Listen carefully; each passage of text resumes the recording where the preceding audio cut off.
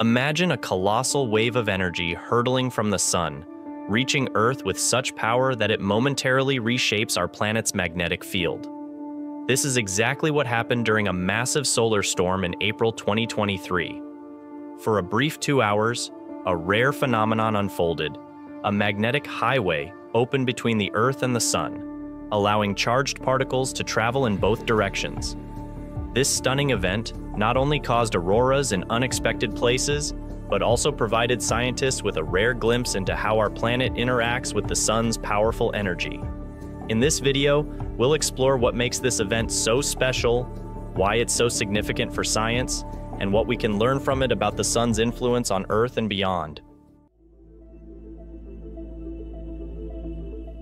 The story begins with a coronal mass ejection, a massive burst of solar wind and magnetic fields rising above the sun's atmosphere and being released into space.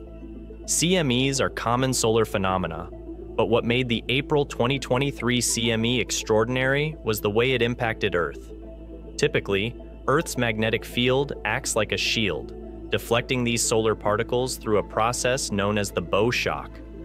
This phenomenon is similar to the wave that forms at the front of a speeding boat as it cuts through water. However, on April 24, 2023, this shield was temporarily disrupted.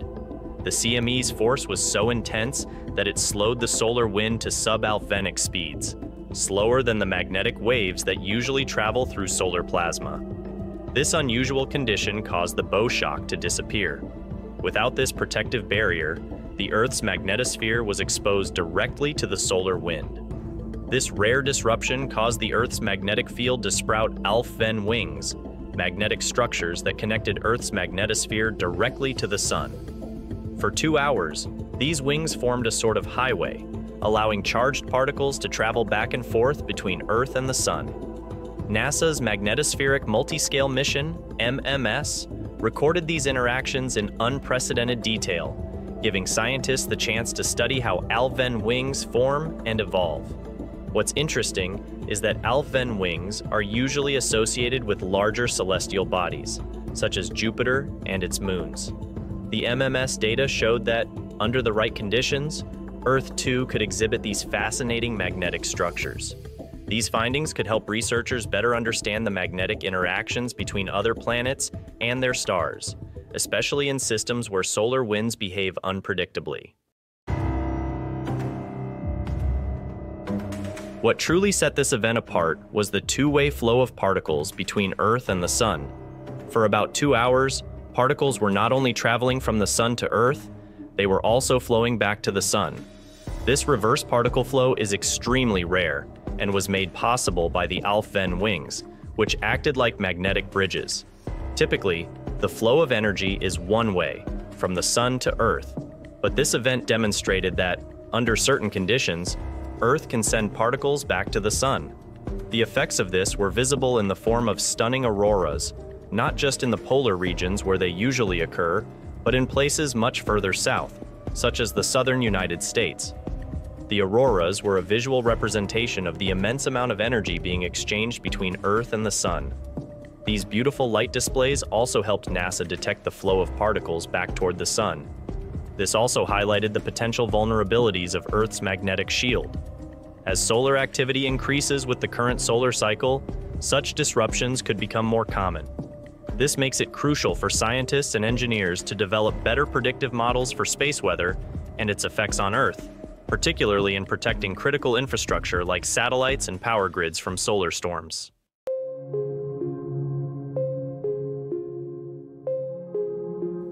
The implications of this event extend far beyond Earth. Alfvén wings are not unique to our planet. In fact, they are a common feature around gas giants like Jupiter. For instance, Jupiter's moon Ganymede is known to create Alfvén wings as it orbits through Jupiter's magnetosphere. These wings help funnel particles between Ganymede and Jupiter, creating powerful auroras on the gas giant. So, researchers can compare the Earth's temporary Alfvén wings to those seen around Jupiter.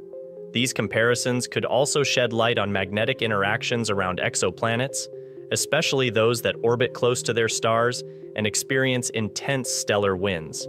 This phenomenon also raises questions about how other celestial bodies might behave under similar conditions.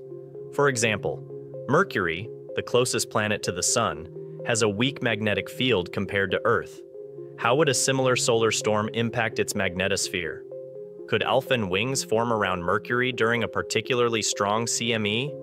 Research has shown that Mercury can experience geomagnetic storms similar to those on Earth, despite its weaker magnetic field and lack of a substantial atmosphere. These storms are triggered by the interaction of the solar wind with Mercury's magnetosphere, leading to phenomena such as flux transfer events and substorm-like processes. Not only Mercury, but also studying these phenomena can provide insights into the history of magnetic fields on planets like Mars, which lost its magnetosphere long ago, making it vulnerable to solar radiation. Furthermore, the event has implications for space exploration, as humans plan missions to the Moon, Mars, and beyond, understanding how solar storms and magnetic interactions affect spacecraft and human activity is critical. The data gathered from this rare event could inform the design of future spacecraft that need to withstand the harsh conditions of space weather. It also emphasizes the need for continuous monitoring of solar activity, especially as we send more satellites and missions into space. In summary, the April 2023 solar storm provided scientists with an unprecedented look at how Earth's magnetosphere can temporarily connect to the Sun, creating a two-way flow of particles. This event not only revealed new aspects of space weather, but also offered valuable lessons for understanding the broader universe. Thank you so much for watching. If you enjoyed this video, don't forget to hit the like button and subscribe for more fascinating space updates. Let me know your thoughts in the comments below. What do you think about Earth's magnetosphere being directly connected to the Sun? And as always, keep looking up at the stars, because there's so much more to discover. See you in the next video.